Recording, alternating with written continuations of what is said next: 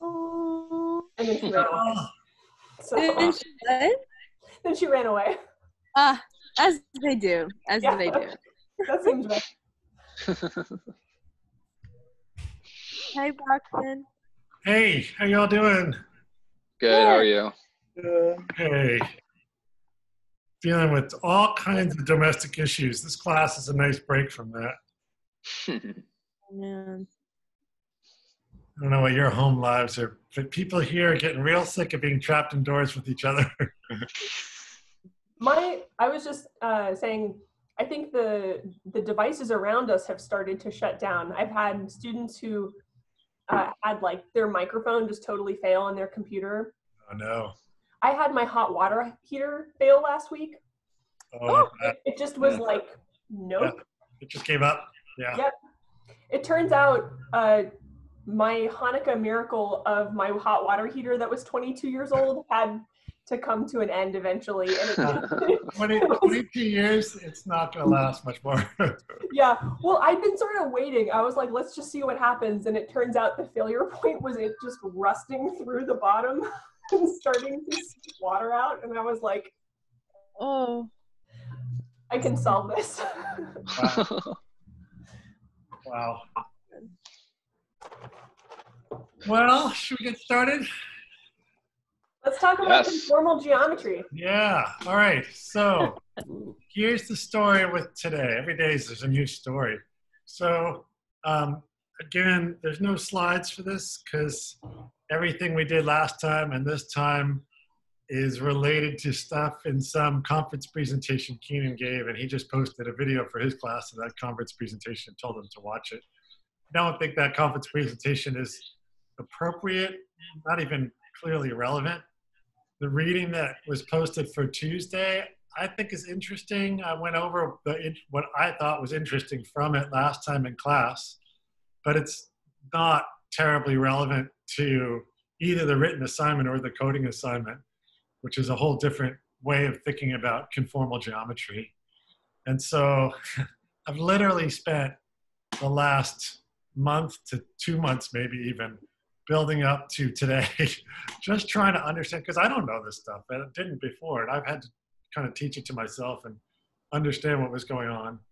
And it builds on a whole lot of material from really advanced coursework, from graduate level coursework on um, Riemann surfaces and Cauchy-Riemann equations and a lot of complex analytic geometry. And if you haven't had that stuff, I had some of that stuff in grad school and haven't looked at it since. Um, and I know most of you guys haven't had that stuff. If you've had a class in complex variables, you'll have seen some of this. But trying to digest it all and put it all together and synthesize everything and get it to an understandable form in a form where you can do the homework assignments and the, um, the coding assignment is, is a bit of a challenge. So my goal is to try to go through the written, the chapter seven in his text, in Keenan's the course notes, and just get us to the point where we can understand the algorithms that are presented in the last like two pages of that chapter. There's a whole lot in that chapter. It's super, super dense. But I think now that I've stared at it for several months, I think it is possible in the next hour and 15 minutes or so to get it to the point where it might be understandable to you guys if you ask me too many super technical questions, this is a disclaimer. This is all new to me too. You can easily stump me. So, you know, I'll do my best. Feel free to ask questions, please. Um, just a warning. uh, my own understanding of some of the stuff is a little bit shaky, and I hope I don't trip myself up, but uh, I think I've got most of this down. We're here for you. We're here for you. okay. Thank you. The like inside baseball, um, you know, kind of comment for the students is that, you know, this is an area that's actually super, super relevant in computer graphics, particularly in things like 2D animation. Um, and I, I find this to be one of those one of these instances of like the emperor's new clothes kind of thing where like I think there's a lot of people in graphics that talk about conformal geometry a little bit the way that um, that Keenan talks about it, which is like kind of like over like weirdly overly technical in the way that makes them like look smart and intimidating and yet is probably actually a mechanism to hope that people don't ask them technical questions about it because it's like not a super deep knowledge. Um, and like there's very few people on the computer science side that i think have had the classes that prof. Bachman was just mentioning. So like it's something to really think about like especially if you go on to look at any of the computer graphics papers on this area like how people talk about the math i think tells you a lot about their like research philosophies and just like how they approach difficult subject matter and it can be very interesting from like a human perspective. So just something to kind of keep in mind that there's like practitioners on the computer science side of this stuff that like are in the same boat that we all, all are in right now which is basically trying to make sense of this like kind of esoteric math in order to solve cool problems but from an outsider's perspective. So yeah, I mean, and and and this is actually something that happens a lot. So so I've hinted at my background a little bit. I I have a PhD in topology. Most of the research papers I've written have been in topology, and specifically in finding topological analogs for geometric structures. So, but it's the same kind of thing that Catherine was just talking about, where most people working in my area of topology don't actually know the geometry all that well, and that includes me, unfortunately we just kind of know the major theorems, but not necessarily the proofs of the theorems, because we're just looking for topological structures for which the conclusions of those theorems are still true. Right, so we're looking for things that behave in the same way as the geometry, but we don't understand the underpinnings, the technical parts of the geometry all that well. And actually, this class has been great for me to teach because I've had to learn a lot of the geometry stuff and fill in some of those gaps that I haven't known. So you know, my background is looking at topological analogs for these geometric structures, and this class is all about looking at discrete analogs for these geometric structures, and they're slightly different. So, all right, let's jump into it and see, see how far I can get, and hopefully I'll get through it. Um, oh, and just to, to warn you all, um, next week, Catherine tells me, is clinic week at Mudd, where there are no classes. So we're just going to follow that and um, so this is technically our last week of classes. And um, we can't really ask you to do more than one more assignment. So I think we'll cover everything today that you'll need to do the assignment, which means even on Thursday, we won't cover any new material. We could just use that time for um, just like basically extended office hours to help you with that assignment. So today, hopefully will be it. If I don't finish today, the nice thing about that is we have Thursday also, and I can just I don't feel like I'm quite as rushed today because if I don't finish, I'll just finish up on Thursday. Okay. All right. So let's jump into it. Um, we talked last time about what the word conformal means. So a conformal mapping versus an isometry is a, is a weaker notion. So again, you can all hopefully see my iPad screen still. If we have some surface, like just some sort of deformed sphere, and we're mapping that to some other surface, another sphere, then an isometry means that distances are preserved. A conformal map means that distances aren't preserved, but at least angles are. So if I have a tangent vector and another tangent vector, um, those will map. So if this is the map phi, and I have the vector x and the vector y, then phi maps points of the surface on the left to the surface of the right, right? So phi maps a point P to a point phi of P. D phi maps tangent vectors to tangent vectors. So here we have d phi of x and d phi of y. And the map is conformal if the angle on the left equals the angle on the right. Okay, so that's that's the most most basic notion of conformal geometry is that those two angles are the same. Okay, there's a little tick marks here.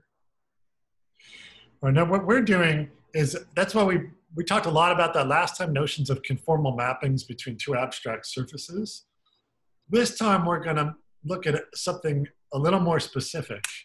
Um, I remember I showed you last time I had some uh, some CAD program that I mapped my face onto it.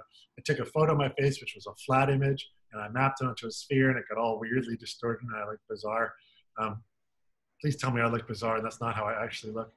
But the whole the whole point was that distances I look weird because distances are distorted.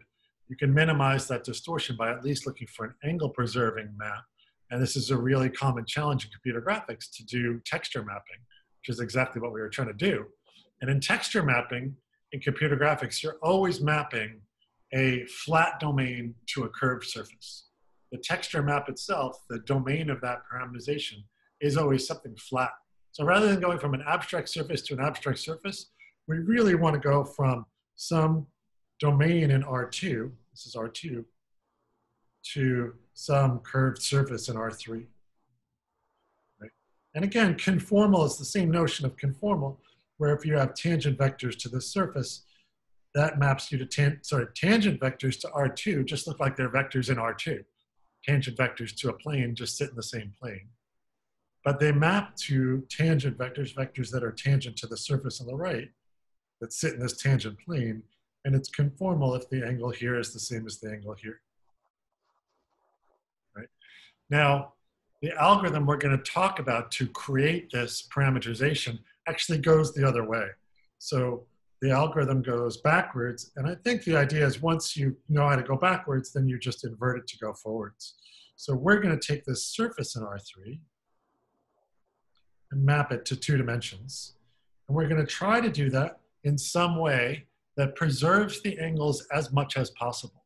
It won't preserve the angles exactly, but we literally want to preserve them as much as possible. When you hear those words in mathematics, you should think like lights should flash, and you should think this is an optimization problem. Right? When you say as much as possible, it means there's some function, and you're looking for the local minima of that function to make it the best possible map.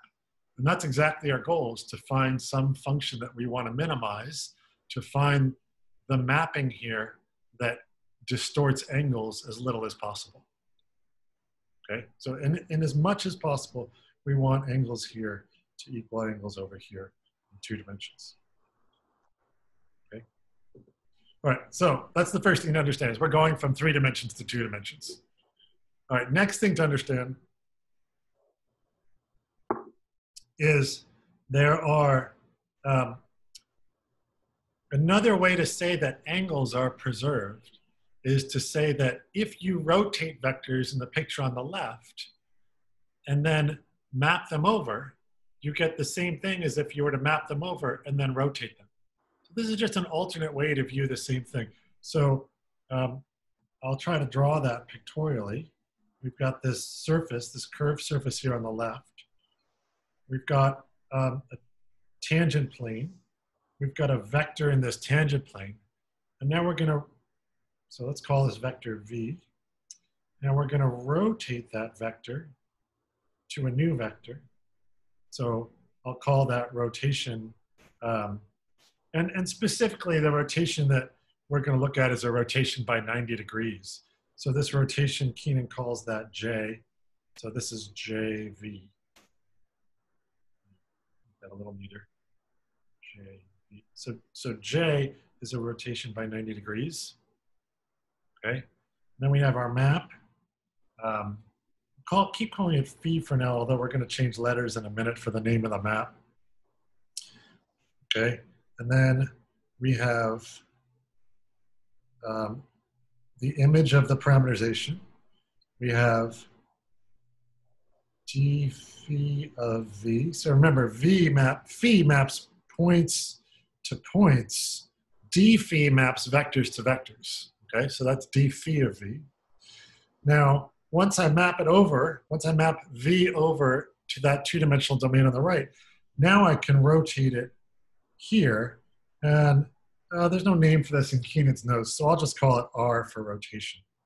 Okay, so that's um, r of d phi of v. Okay, so what we want is to say that if I rotate and then map over, that's the same thing as mapping it over and rotating because the angles are the same, right? So what we want we can sum it up with an equation.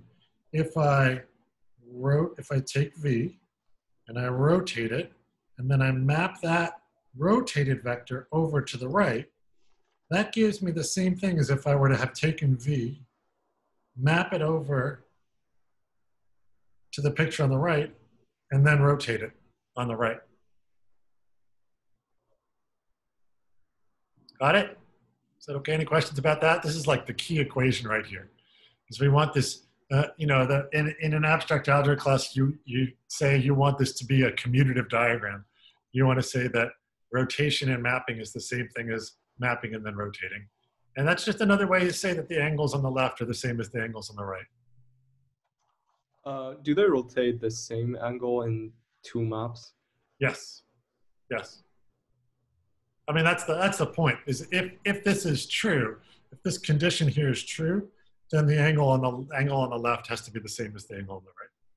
You just you don't use J for both because one of them is a rotation in R3 and the other one's a rotation in in R2. Yeah. Oh, sorry, but Jack, I see what you're saying, Jack. So J rotates 90 degrees, R also rotates 90 degrees. And you want a rotation by 90 degrees and then mapping over to be the same thing as mapping over and then rotating by 90 degrees. Yeah, they do rotate. Both R and J rotate by the same number of degrees. And what you want then is for this equation to be true. Yeah. Okay, and so this is like conformal. Like if we have this is conformal, is that what it is? Yeah. Yeah. Okay. Yeah. If, if this is just an equivalent condition to say the map phi is conformal. So if this is true, then phi is conformal. And it's an equivalency, right? It's a, and it's equivalent kind of condition. So just another way of saying phi must preserve angles. All right. We're going to rewrite that equation using some stuff we've done before and some stuff we haven't done before. Um, so let's work on the left side first. So that map J times V. So um, sorry, I'm just I'm just thinking out loud here. Uh, do, do, do, do, do.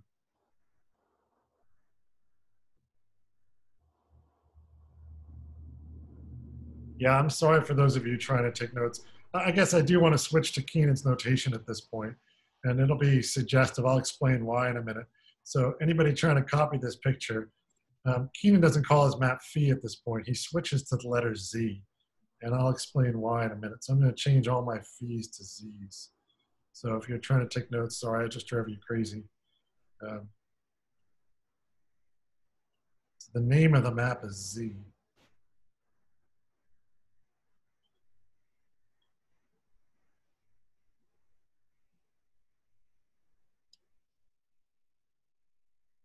Okay, so DZ is the map on vectors. Okay. Now let's um, let's look at each side here for a minute. Let's let's say what is why why the letter Z, and then what is DZ. So we talked earlier in the semester about forms. We spent a long time talking about real valued forms. And let's just keep this specific to one forms right now.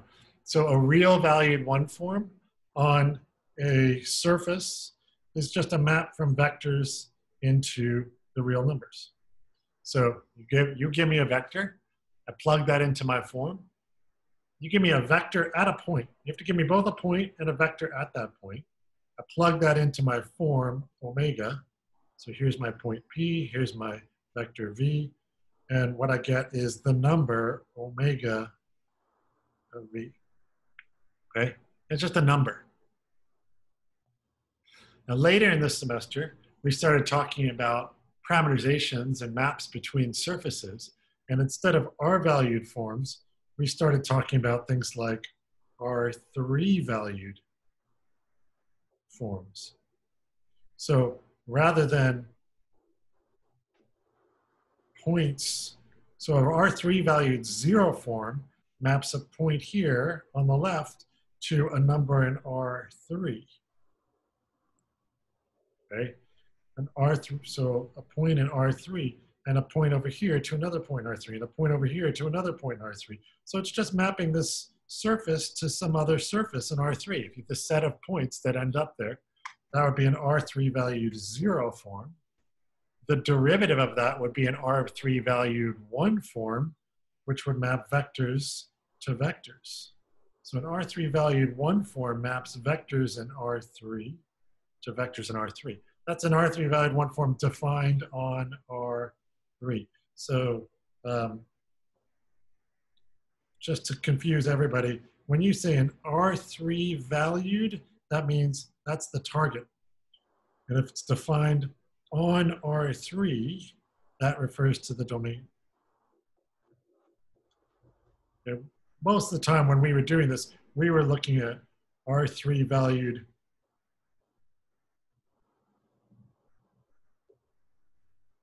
forms on R2. That means R2 is the domain. The range, the image over here, is in R3. And so that's just what we would have called in calc, regular Calc 3 class, that would, that's just a parameterization.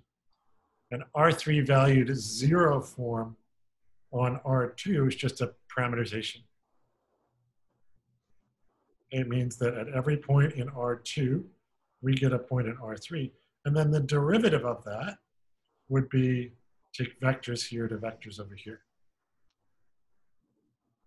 Could you repeat which one is the domain and which one is the range again, please? Yes, they're color coded here.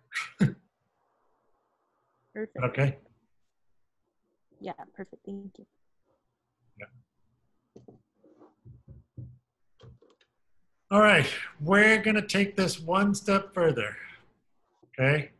And then that's going to allow us to rewrite this, this equation right here. So we want this picture. We want a picture that takes some sort of three-dimensional object to something that looks like it has two real dimensions. But we're going to do this in a way so that it's easy to write down this rotation map. And um, an easy way to write down a rotation map on a plane is to stop thinking about that plane as having two real dimensions and to start thinking about that plane as having one complex dimension. So rather than mapping R3 to R2, oops, rather than doing that, we're going to map it to what's written as C1, one-dimensional complex numbers. Okay, now one-dimensional complex numbers look to your eyeball like they're two-dimensional. So a single complex number looks like A plus BI. I think you've all had enough math that you've seen I before, square root of negative one, and hopefully you've seen the complex plane before.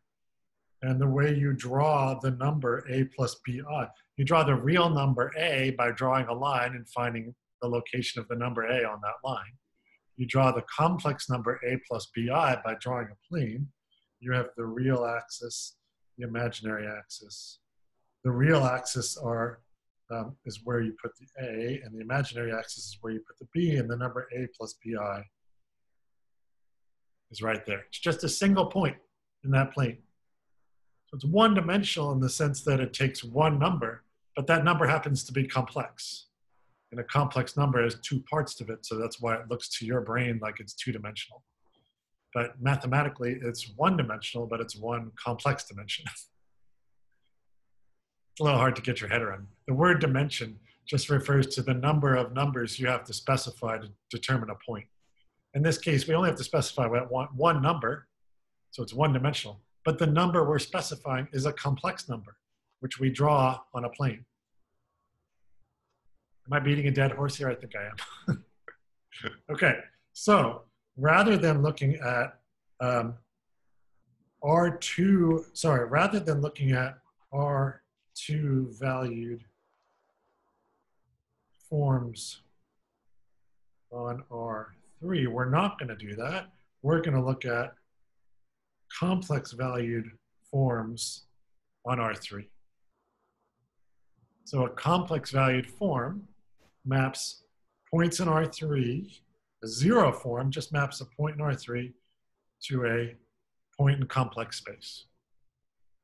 And for some reason, I don't know what, but most complex variables textbooks use the letter Z to represent a complex number, which is why we're calling this map Z. So Z of P is a complex number. If this is a point P, then this point might be Z of P. It's just some complex number that depends on this point in R3.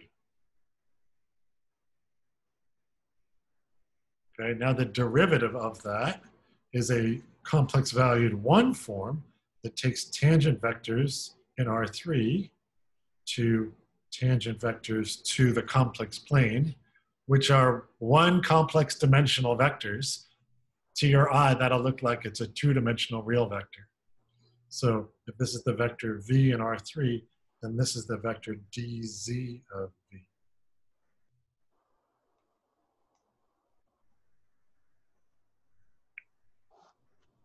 So maybe I should give you an example first. Keenan does zero examples.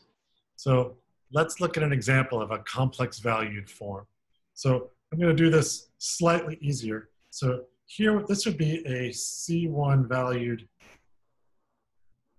form, zero form, on just on R2. So I'm starting here in R2, where I have X and Y, and I'm going to map that to C1. Okay, so it's just a zero form. So I'll just, I'm just gonna make something up off the top of my head. Um, uh, so this map Z is um, x squared plus y squared plus i times xy.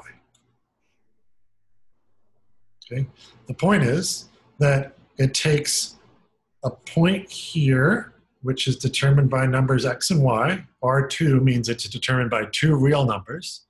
And what you get out is a single complex number, that's just one number, which we would plot as a point in a plane.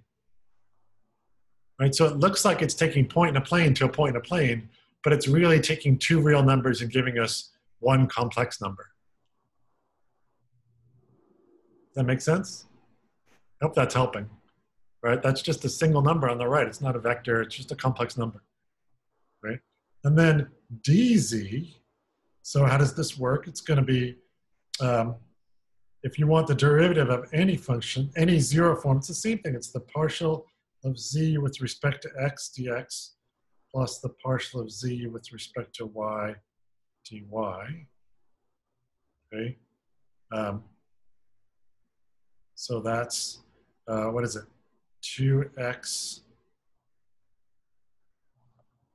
2x plus iy dx, okay, plus, now the partial respect to y is 2y plus ix dy. Right? Now, again, one form. So this is a one form. This is a zero form. This is a one form. So a one form, a zero form, and a complex valued zero form just takes things on the left and gives you complex numbers. The complex valued one form just takes vectors on the left and gives you, again, just a single complex number on the right. But we're going to draw that complex number as a vector. So how does that work? Well, let's, for example, let's say I have the vector at the point 1, 1, and it's the vector 0, 2.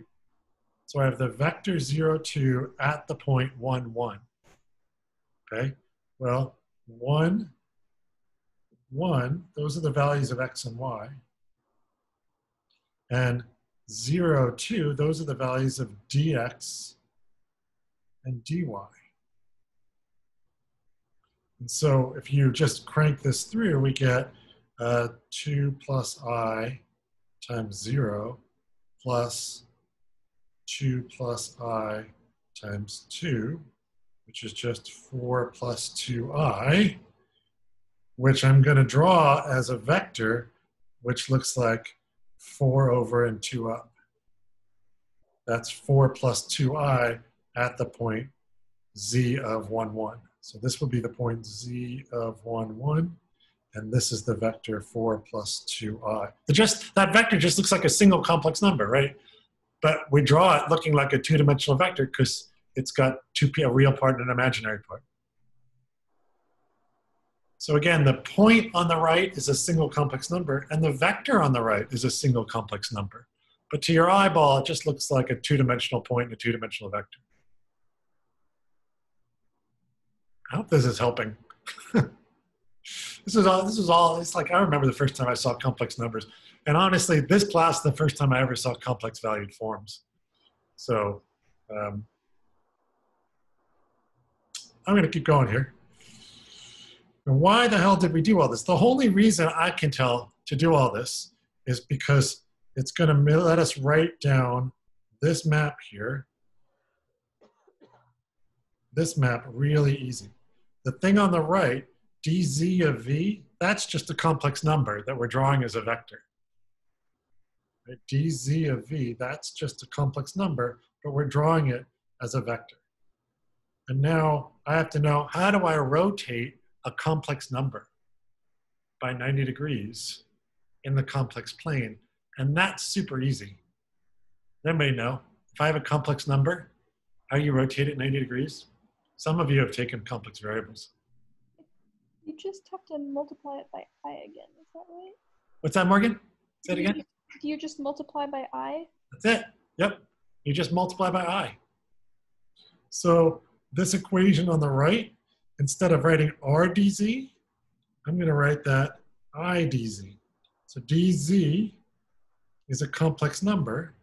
dz of e is a complex number. And if I multiply that complex number by the, the imaginary number square root of negative 1, i, that has the effect of a 90 degree rotation. So dz of v is a complex number. We're drawing that as a vector. i times that complex number, if we draw that as a vector, then it just looks like we've rotated it by 90 degrees. Okay, all right, that's the right-hand side of this equation. The left-hand side, we're also gonna re rewrite that map J, and this we did before. If I take a one form and apply it to, sorry, if I take a vector and rotate it 90 degrees and apply some one form to it, that's exactly the definition of the Hodge star of that one form applied to the original vector. That's all the Hodge star does on one form is it just rotates them 90 degrees. So this whole equation we can rewrite in a very different form. I'm going to rewrite it down here, all the way down here at the bottom. It's now the equation um, dz of v Hodge star equals i times dz of v. So what's happening on the left side is we're looking at the one form defined on V, which is the same as the one form rotated 90 degrees defined on V. That's the same as just rotating V by 90 degrees first and applying the original one form. Okay, so on the left, that star looks like it's happening on the outside, but you should don't think of it as applying DZ and then starring it. Star DZ is a different one form. Star DZ is one thing. And what star dz does is it rotates the vector and applies dz to it. So star dz, the first thing it does is rotate the vector. So on the left, we're rotating the vector first and then applying the map dz. On the right, that i is on the outside of things. You should think of this with parentheses around it. We're taking the vector v, plugging it into the map dz, that sends it over to the right side, multiplying by i, that has the effect of rotating 90 degrees. Okay? If you were to write this out in coordinates, if you write everything is a plus bi, and then understand what effect this equation has on the real parts and the imaginary parts, you actually end up with two equations. You get a constraint on the real part and a constraint on the imaginary part. And those two equations, those are called the Cauchy-Riemann equations.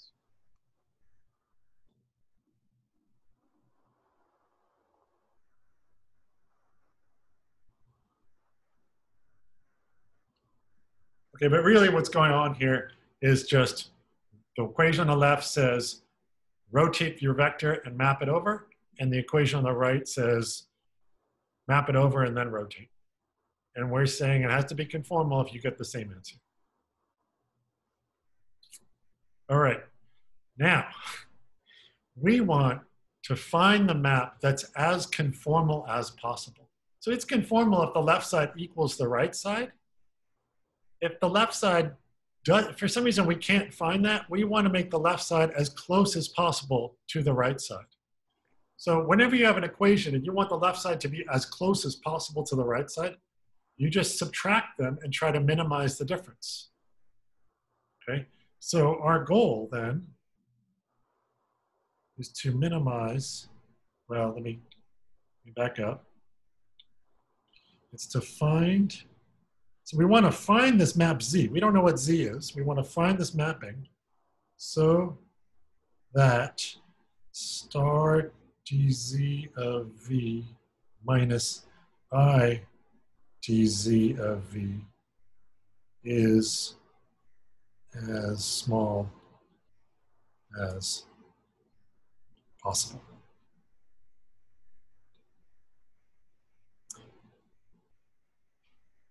Right?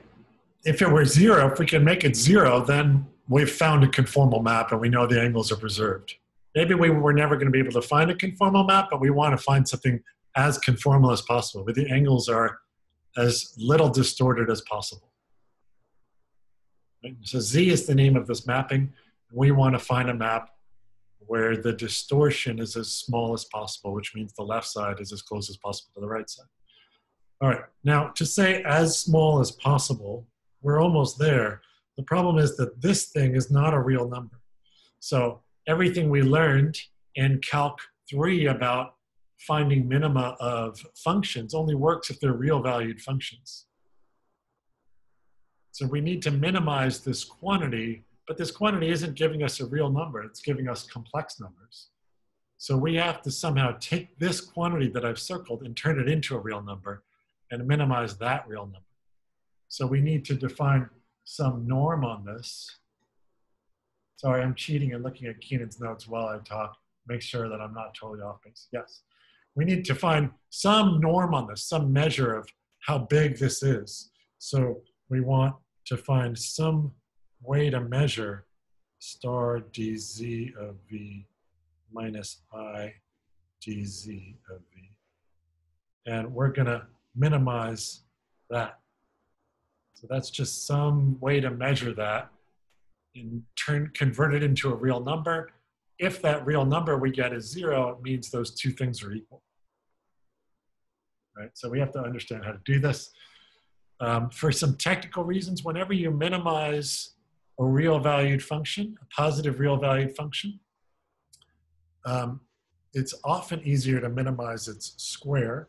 So just for arithmetic purposes, we're actually going to minimize the square of that real number. That also keeps it always non-zero. Right? You don't want to minimize something that can go negative because otherwise it'll just keep going down, down, down, down, down forever. You want to minimize something that's always non-negative then the smallest value will be zero. So it makes sense to square that thing, and you want to minimize its square. And then the arithmetic will work out nicer if we put a one-fourth in front. There's no real reason for that one-fourth other than, than to make the arithmetic easier later. Right? And this is called the conformal energy. So the energy, and it depends on the map Z that we pick. And we use a little subscript C to indicate the conformal energy. So this is called the conformal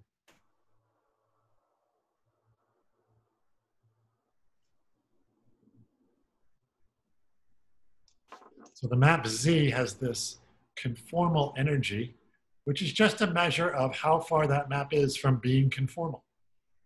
And again, if the map were exactly conformal, this energy would be zero, which means this thing is zero, which means these two things are equal to each other, which means rotating vectors on the left is the same as rotating vectors on the right, which means angles on the left are the same as angles on the right. I'm just trying to tie all these ideas back to the earlier definitions.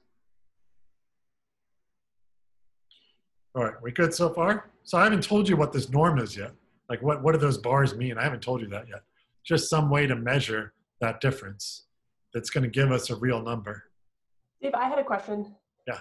Um, this is going back a little bit, but um, can you say the sentence that you said one more time about how star of dz of v is the same as applying star to v and then piping it through dz? I think I'm just in like linear algebra land in my head, and Yeah, Yeah, it's just it's just the definition of the Hodge star okay, is that these circle definition of the, of the Hodge star is just defined to be these two things are equal.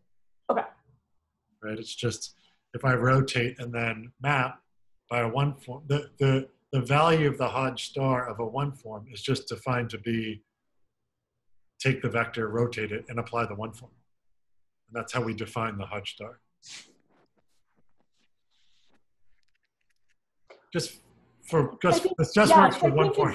no, no, no, totally. I, I think in my head, like I usually just think about the Jacobian and the star as being the same when applied to vectors. Like I think about, like I would be very happy to write that dz star v, but if star star takes one forms to one forms, right. then you have to apply the star to a one the v is a vector not a one form and i think Yeah. that's in the discretization like you always i always think of one forms and vectors as somehow being like the same even though they're not Yeah, well, they're dual to each other, so yeah they kind of are the same, and they're kind of not the same. okay So this uh this Hodge star equation only works on uh R2 that with a vector, right? It only works on one forms in in R two. Yeah, so we're we're yeah we're we're just constrained to this this tangent plane here, and in that tangent plane, we you rotate ninety degrees. Yeah. Okay cool thanks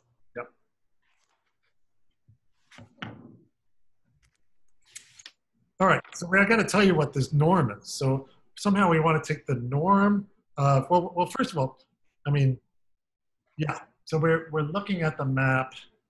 Um, so if if I if I don't worry about what vector it is, I can think of it on the level of forms. Um, this is the form star dz, and I'm going to subtract the form idz. Right? You can think of that as one object that we feed a vector v into. And this thing is a complex valued one form. And uh, on and it's going to be defined on this surface S in R3. Okay, so again, going back up to the picture, I won't, I won't go, I won't scroll back up. We've got this surface in R3,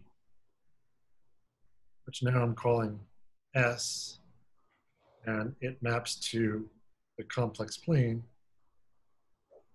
and that's Z, and then this thing is a one form, is another complex valued one form defined on this surface. So it takes tangent vectors to the surface and gives us vectors, tangent vectors to the complex plane.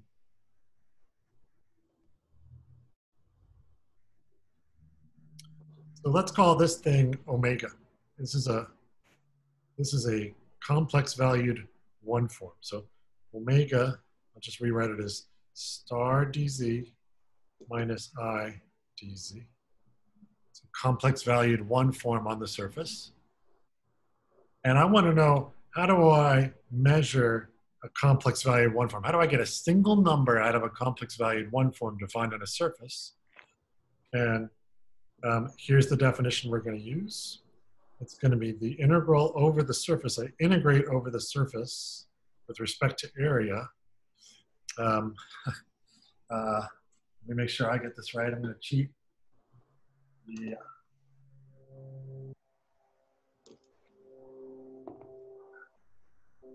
I, I'm going to write down what Keenan writes. It's not. It's not that important that you understand this, but I'm going to write it down. So I take this one form omega, and I look at its complex conjugate. So I make the imaginary part negative and negate the imaginary part. That gives me a different one form. I take the Hodge star of that one form. I wedge that with the original one form. Now that gives me a complex valued two form. And a two form is something I can integrate with respect to area. I integrate that two form over the whole surface, and that gives me just a number. You integrate a two form over a surface, that gives me a number. Now, this should look a lot to you like um,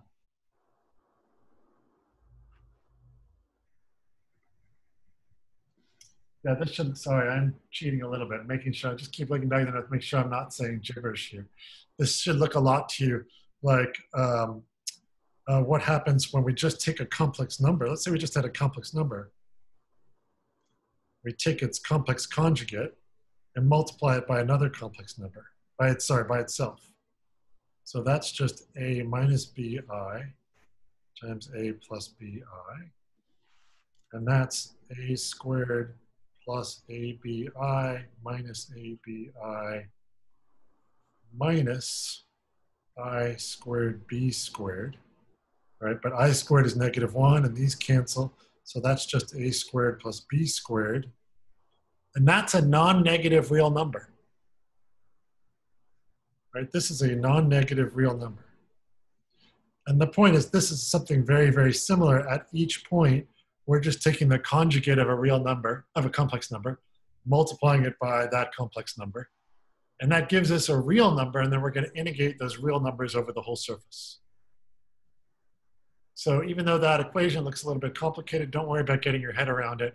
Basically, we're just at every point, we're just taking a complex number multiplying it by its conjugate to give us a real number, and then integrating those real numbers over the whole surface to get some measure of what this thing is doing over the whole surface. Okay, so the point is this is a real number. This is a non-negative.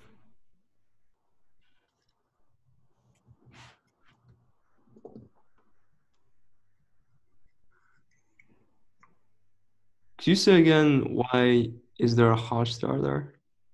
Uh, because otherwise, um, if I don't, if you don't Hodge star it, then we're just doing omega bar wedge omega, and that'll be zero. Remember, you got to remember what, um, what. Oh, right, right, totally, yeah. I think that'll be zero.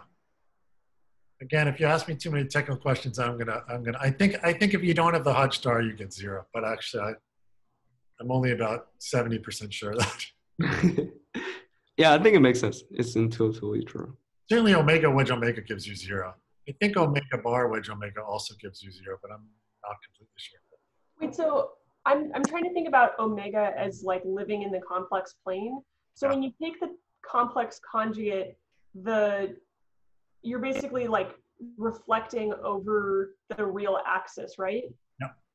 But then Mhm. when you apply the Hodge star to that, don't you rotate it?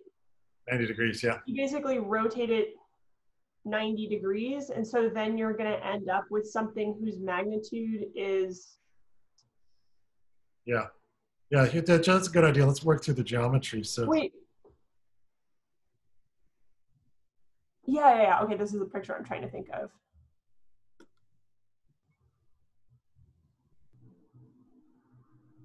then we rotate this 90 degrees. Oh, it ensures that it's it's always a, a two form and not degenerate to zero. Because if omega was aligned with the real axis, then Yep. the complex conjugate would be the same as itself. That's right. Um, That's and and then rotating it by 90 degrees would ensure that you span R2. That's right. Okay. So omega wedge. ooh, ooh.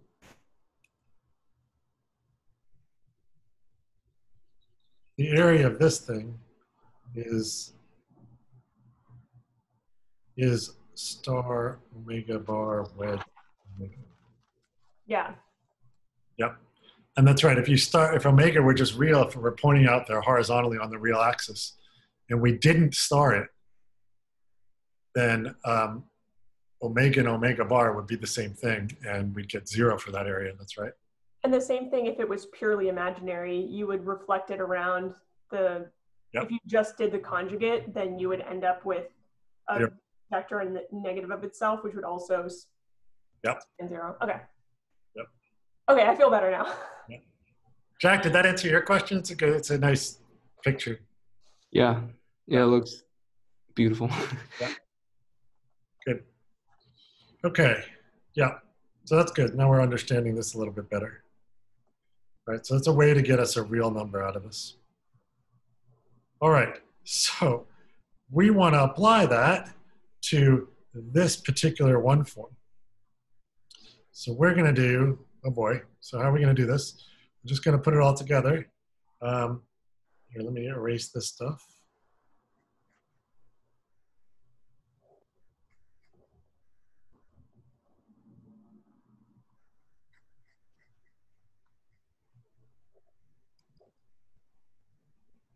Okay, made some space here.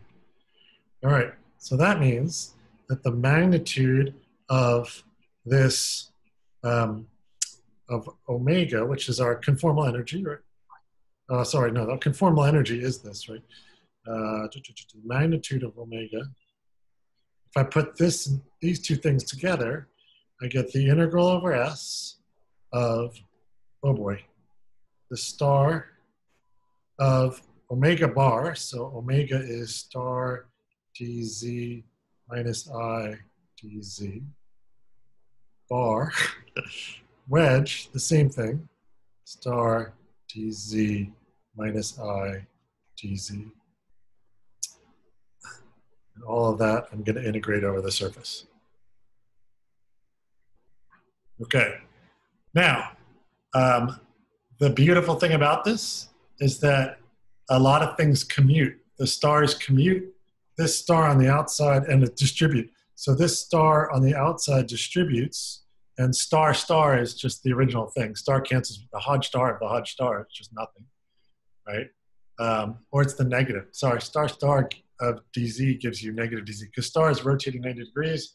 If I rotate another 90 degrees, I get the negative of the original. Right? Um, star of i dz, well, i is just a constant. You can pull constants out of the Hodge star. So there's a lot of work you do. Um, the wedge is acting kind of like multiplication. You can foil the left side and the right side. So you can distribute, you can distribute the conjugate. The conjugate of the sum or difference of two quantities is just the difference of the conjugates.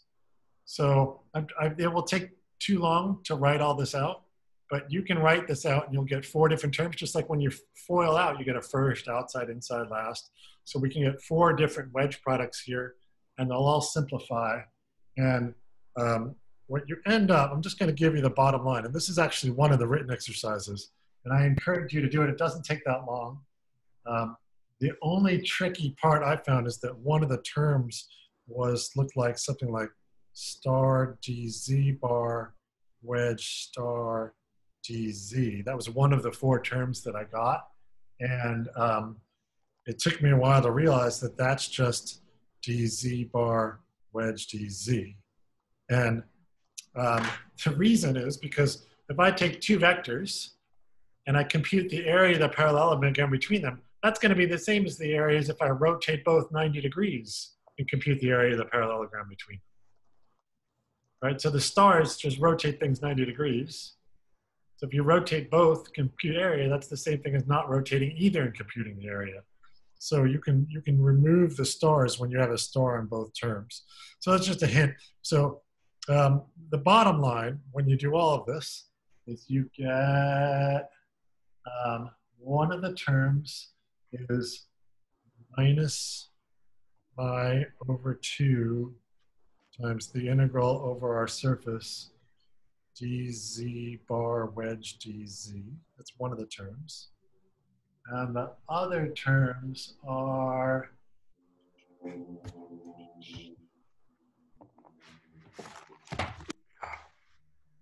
uh, oh Lord. See if I get this right. Hold on. The other term is one half times the integral over S of, ah, this is going to be crazy, um, the Laplacian of Z, yep, wedge Z, uh, sorry, the star of the Laplacian, all right? Yeah, I guess that's right, dA, something like that.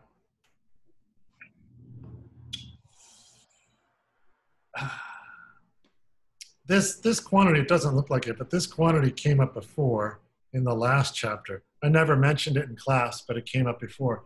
Um, and it came up in the exercise some of you did on the greens functions. So if you work through the exercises all of this by the way i'm kind of summarizing the results of exercises 7.5 7.6 7.7 7.8 and the final results here this is called the dirichlet energy. And this, one of the exercises, is just second term there, is just the area of the surface, complex valued area of the surface.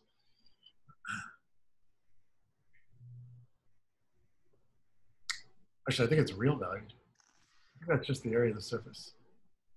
The total signed area, it's signed, sorry, it might be positive or negative. Okay, so that's the result here is that the conformal energy of Z turns out to be the Dirichlet energy, which involves the Laplacian, minus the area. So this is a this is the upshot of exercise 7.8. So even if you just spaced out for the last 15 minutes, let me just tell you where we were 15 minutes ago and where we are now. So 15 minutes ago, we got the Cauchy-Riemann equations, which were here hopefully, I hope you all followed me to there. If we just take the difference, I hope I convince you that we want to minimize this thing by taking the difference of those two sides. Minimizing that involved turning it into some energy that we minimize, and then using the definition of that energy and a bunch of just algebra involving forms and complex numbers and Hodge stars, we end up with this. Okay, so if I lost you, just you can do the exercise in your own time or just take my word for it or take Keenan's word for it, that somehow it all simplifies into the difference of these two quantities. One of those is the Dirichlet energy. One of those is the area. Now, to minimize the Dirichlet energy, that happens when the Laplacian is zero. So we're going, this is tying us back into the last chapter where we're going to need to know the Laplacian to write down this thing, okay? And the area, we're gonna discretize this integral to get the area. Just gonna be a summation and it turns out to be an easy summation to get that area, okay? Wait, the Dirichlet energy is minimized when the Laplacian Zero. is zero? Yeah. So we can think of that as being um, like when the curve the mean curvature every like basically when the surface is not undergoing relaxation in the projection to the image Um, I think Uh, I, can you say that's, like that's gotta be right, yeah. I'm not sure what the right way to visualize this. yeah Because we're taking the Laplacian now as a complex valued function. So the pictures we had in our head before have to be modified a little bit. I don't know the right picture. yeah maybe that's not right then yeah okay Can you say again what this area is? It's literally just the area of the surface. Oh, it's the area of the image. Sorry, this is the area of the, uh, yeah, of the image. Of the, remember, we're mapping a three-dimensional thing to a two-dimensional thing. And this is A of Z. It's the area that two-dimensional thing on the right. So is the way to think about this as the, you know, we're looking at the difference between these terms and we want those two terms is in some way to balance each other out.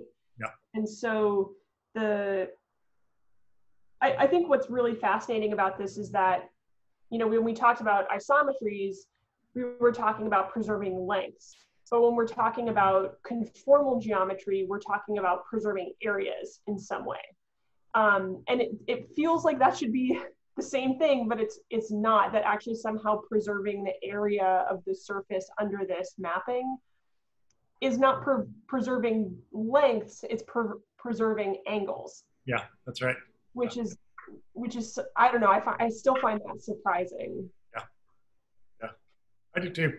Yeah, it's all very mysterious to me as well. Um, I I have a question about the uh, Hodge star when we were doing like the uh, Cauchy-Riemann equations. I think. Yeah. Um, so w- when I sort of like envision um, complex surfaces, you know, you could visualize them two dimensionally, but like from a strictly like just linear algebra perspective, if you have like a vector vector space over the complex numbers, just like a one dimensional one is it- it'll have you know i and the real axis but it'll still be like one dimensional right Yeah. So, um i'm curious as to why our hodge star isn't behaving as if it's like one dimensional like like like the the definition of hodge star is like you take you know you've got some form wedged with the hodge star that form gives you back all of the orthogonal bases like wedged together right yeah, but this is just in that tangent plane. Yes, we're just looking at the tangent planes to the surface. So, so, isn't that tangent plane like one dimensional like it just has a complex number associated with it in the domain, it's two dimensional, right? We're over here. So the Hodge star of DZ is going to be, right? If I have, if this is a vector here, then the Hodge star that gives me something over here. Um, okay, so maybe my confusion's a bit deeper then. Like, so we're, we're applying it after the D operator, right? So, star DZ is one thing defined on the domain. okay, It's not like you take Z and then take D of it and then you take star of that. Star, that's how I was envisioning it. yeah, star. um, think of think of there's like parentheses here. Star DZ is a is a form defined on the domain. And Yeah. it, And it Okay. has the effect of rotating the vectors on the domain first before you map them over. okay.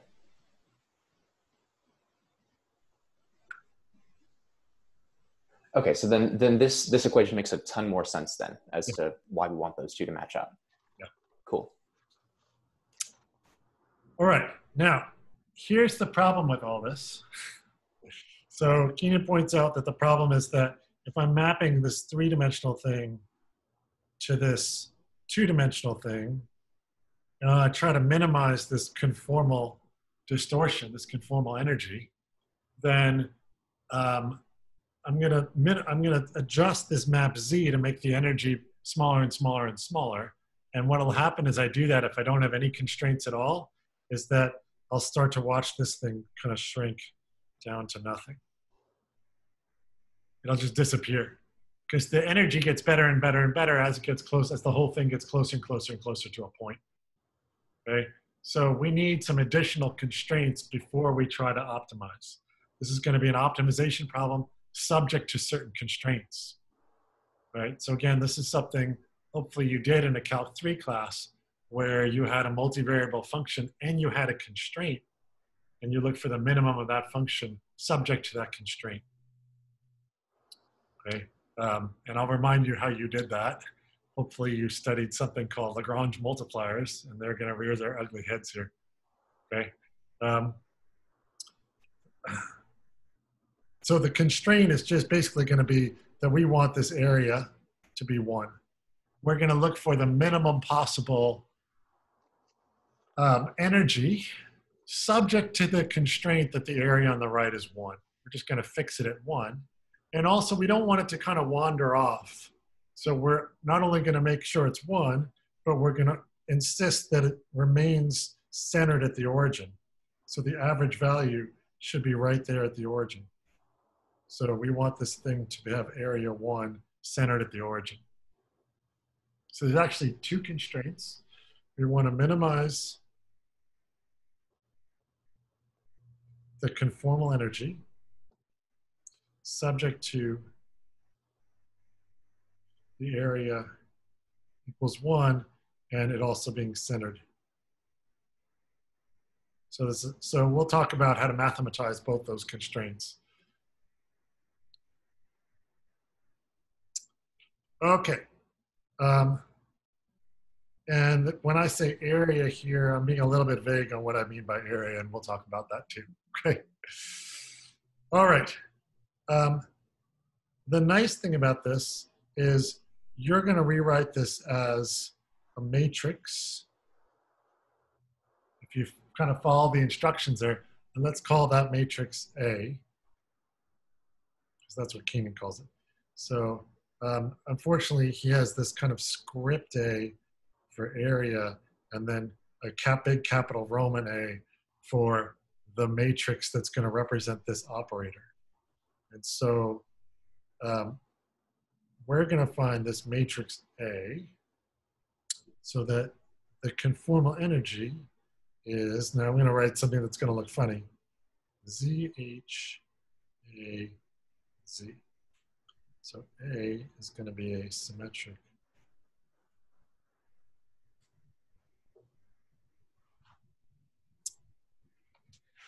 and he gives it away in the notes. He says that matrix A, it's just the Laplace operator you did in the previous chapter. It's really the same. thing. Okay.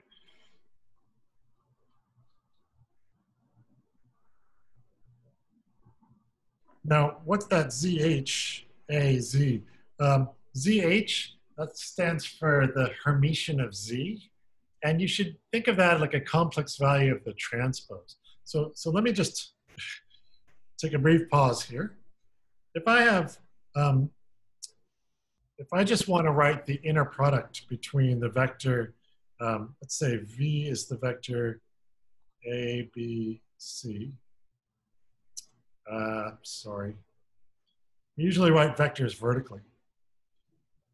So V is the vector A, B, C.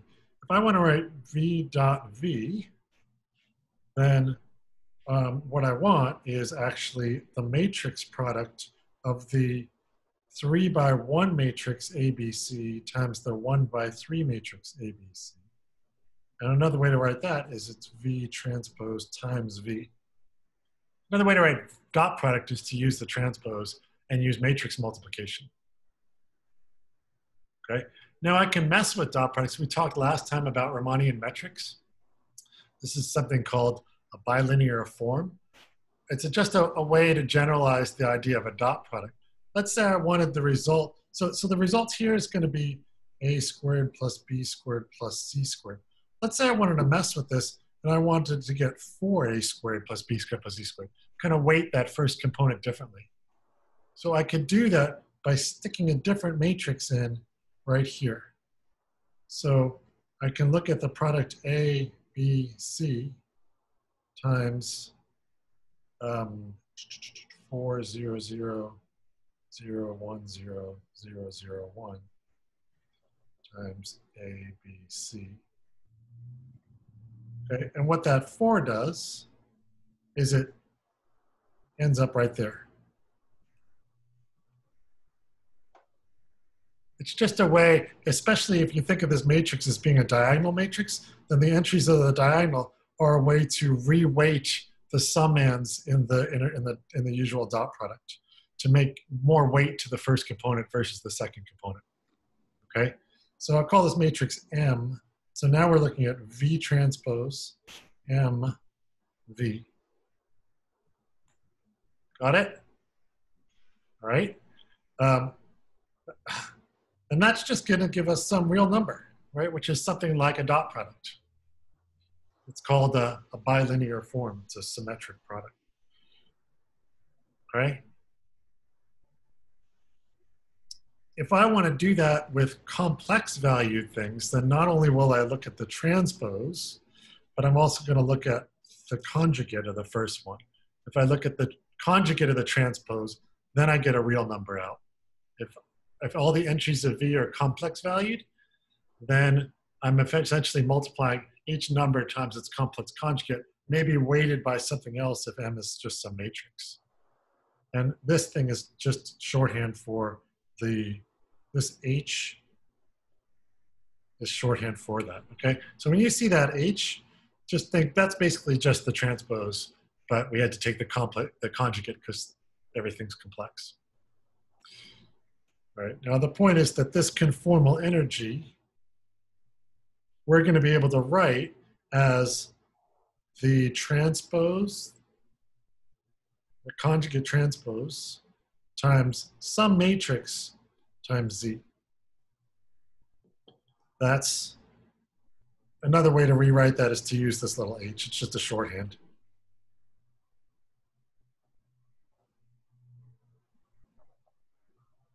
So how do we minimize something of this form? Um, the answer is the same as just in real numbers. How would you minimize something of, uh, oh, I've erased it. This was V transpose MV. How would I minimize something that looks like that? If I know what the matrix M is, it's just a matrix of constants. What is the minimal value of V transpose MV? And that's surprising. the minimum of V transpose MV is exactly just um, MV. What do I mean by that? Oh, sorry, sorry, sorry, sorry, sorry, sorry, sorry. That's not right. I apologize. Not the minimum.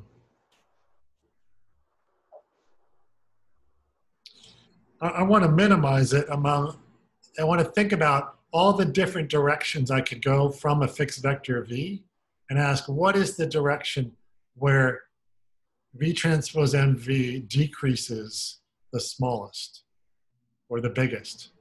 And I have another name for that. That's the gradient. It's the gradient. The gradient of that real valued function is just m times v. Okay, now remember, this is what we want to do. If I want to minimize some function, I see I'm out of time here. So we, we will finish up next time. If I have this function here, and I want to minimize it, remember how you minimize something, a, a multivariable function in Calc 3 is you take its gradient and do what's called gradient descent. You go, you travel in the direction of the gradient, and that that'll actually take you to a local maximum. If we travel in the direction of the negative gradient, we'll go to a local minimum. Okay, so we're going to want the negative gradient of ZHAZ, where a, where a is this matrix we're going to calculate.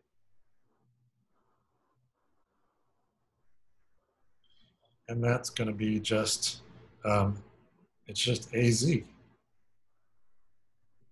I can I can show you how to do this next time. That's actually not so hard. It's just a easy limit calculation from just at the level of Calc 1. It's a super easy calculation to show that.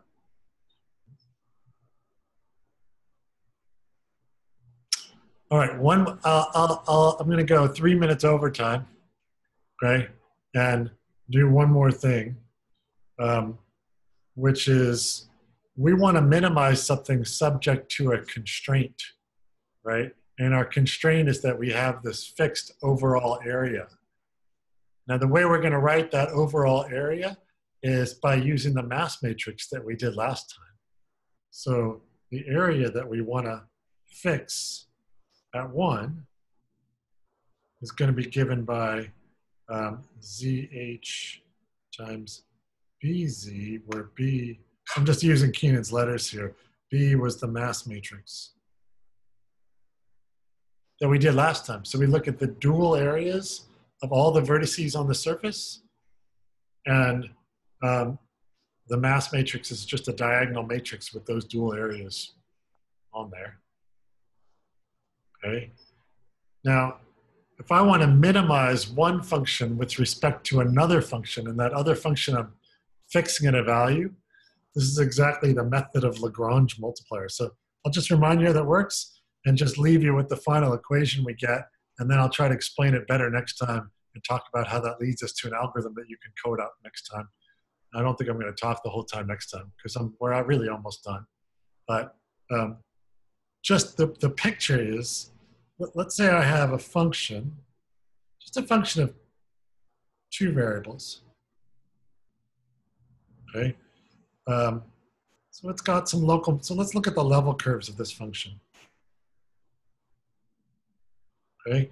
And then I also have some constraint, g of x comma y equals one. So I have two functions here. One is the constraint function. One is the function I'm trying to minimize. But I, I'm going to draw this implicit, implicitly defined thing. So g of xy equals 1. That means we're on that curve. Okay.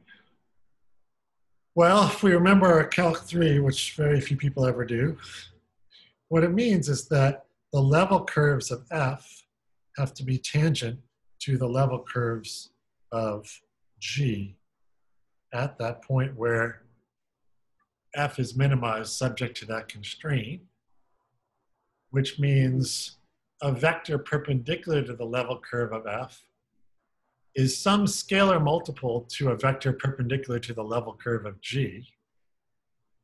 And the way you get a vector perpendicular to a level curve is by looking at its gradient.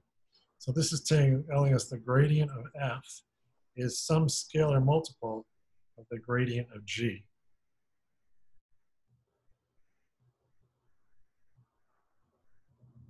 Okay. Well, all right. So one more time. I'm trying to minimize this thing. I'm trying to minimize, sorry, minimize f subject to this constraint g. Okay, well, really what I want to do is I want to minimize um, the conformal energy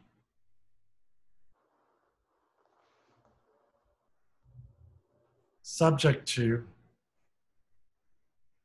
this constraint z h b z equals one, right?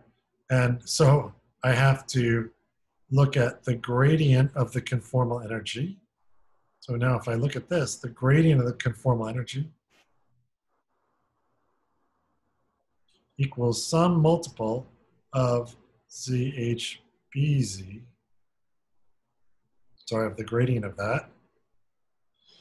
That means, but the gradient of this thing is just AZ. And the gradient of this thing is just BZ. Lambda is a constant. So another way to say that is um, lambda is a constant. So I could bring the lambda inside. I could rewrite that as AZ equals B lambda Z. And now if I hit both sides with B inverse, I can look at B inverse AZ equals lambda Z. And another way to say that is that lambda is an eigenvalue of B inverse A. All right, I just said a whole lot of stuff. I said it really quickly. It was super confusing even to me and I was saying it.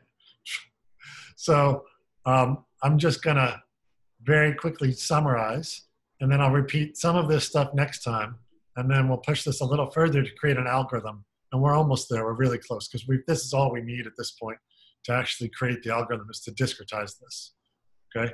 So again, here's where we're at. I'm just gonna to try to talk you through it real quick. So we're conformal if we preserve angles. If we preserve angles, we get this equation right here. And if we think of the right side of the picture as being in the complex plane, the right side of the picture is here. If we think of that as being in the complex plane, then that equation turns into the Cauchy-Riemann equation, which is right here.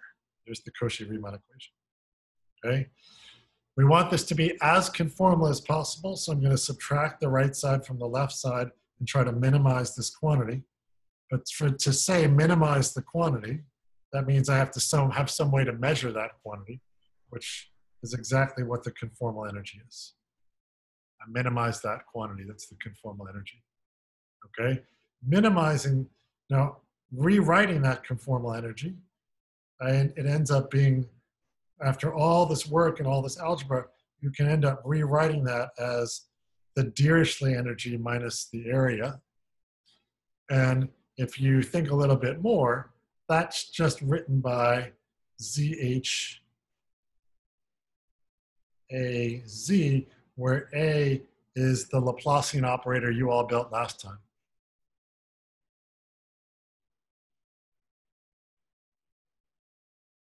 Okay. Now again, we have this issue that if we just minimize a uh, the conformal energy, then the right side may just shrink. The right side of this picture may just shrink to nothing. So we had to impose this extra constraint. So now we're doing a minimization problem with a constraint. We remember Lagrange multipliers. Lagrange multipliers say, oh, if you minimize one function with respect to this constraint, really what you want to do is make sure the gradient of the first function is some multiple of the gradient of the second function. So we're minimizing the conformal energy with respect to this constraint function. So we want the gradient of the conformal energy to be some multiple of the gradient of the constraint function.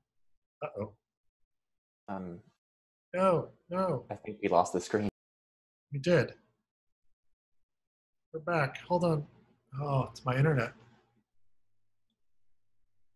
There I was at the very end.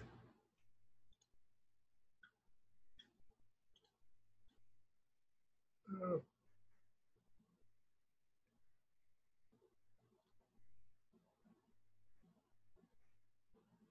Are we back? No.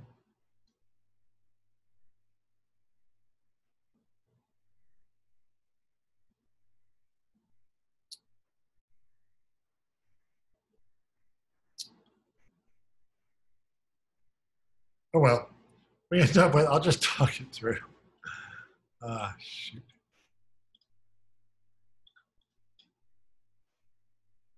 That's not going to work either.